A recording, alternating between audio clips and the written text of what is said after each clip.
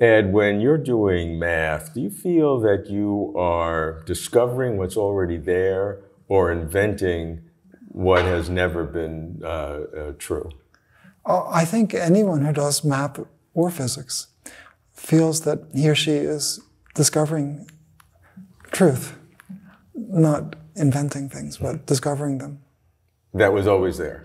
Yes, and that yes, you're a- yes. an explorer trying to find Uh, it. In math, one feels that one's exploring mathematical truth.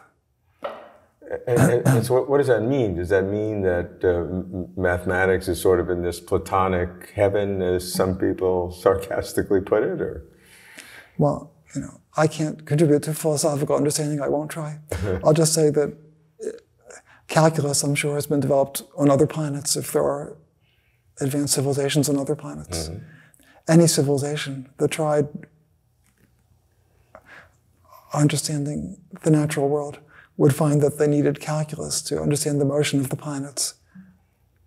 And if they happened to live in a solar system with only one planet, they would invent calculus to discover, describe the motion of projectiles that they could see around them, or balls rolling down an inclined plane as studied by Galileo.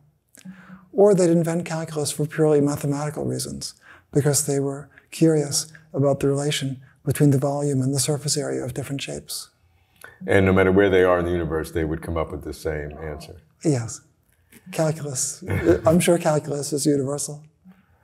The things we argue about uh, in daily life are not universal. They're particular to us, but calculus is universal. Is that is it the case that it, it is necessarily true in all kinds of universes?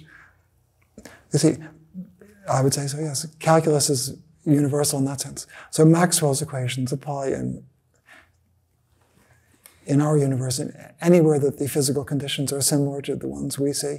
Any advanced civilization would discover Maxwell's equations of electromagnetism. Hmm. But you can imagine, if the multiverse is correct, you could imagine conceivably another civilization that wouldn't experience Maxwell's equations, but they'd experience a different set of elementary particles.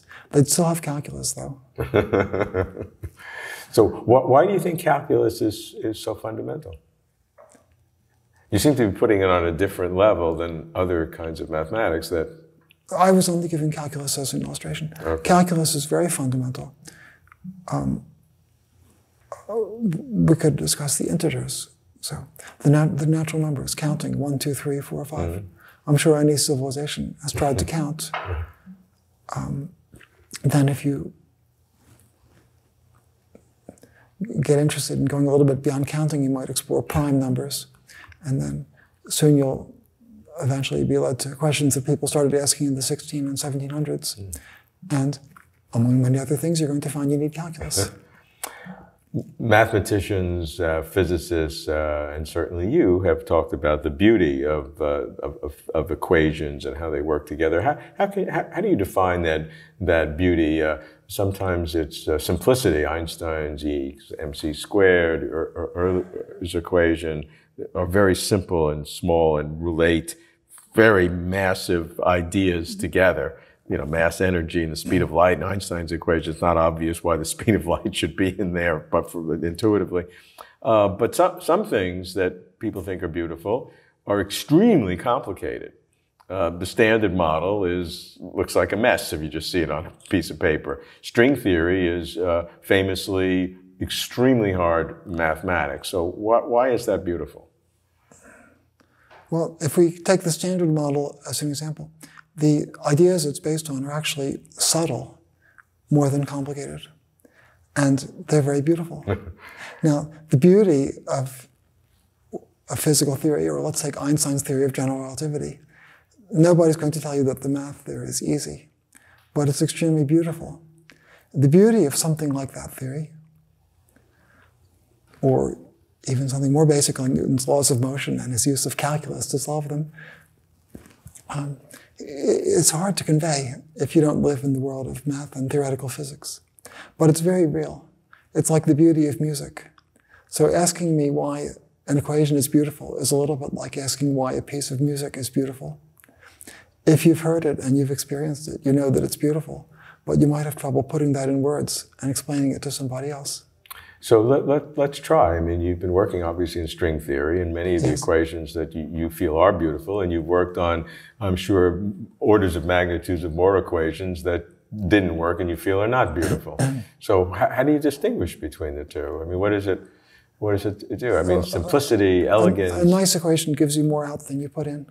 Okay. That's one partial answer. okay. So, in, for example, in string theory, you put in some assumptions and then out pop gauge theory, which is the bread and butter of particle physics, Einstein's theory of gravity, and a hypothetical new structure called supersymmetry.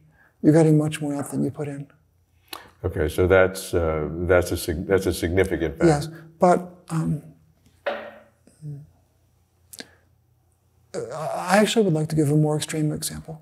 But I want to take now not the full standard model, but just the part of the standard model that describes the nuclear force. It's called quantum chromodynamics. So that actually is simple. It's not just conceptually simple, like the whole standard model is, but even the building blocks that are needed are simple. The equations are incredibly complicated to solve. Hmm. But once you have sort of learned your lessons, you've learned about quantum mechanics, relativity, and quantum field theory. Hmm. Uh, when you learn the language in which the theory of the strong interactions is formulated, it's actually simple. Hmm. It's incredible that such simple equations can give birth to such great complexity. Nuclear physics is incredibly complicated, but it's described by extremely simple equations.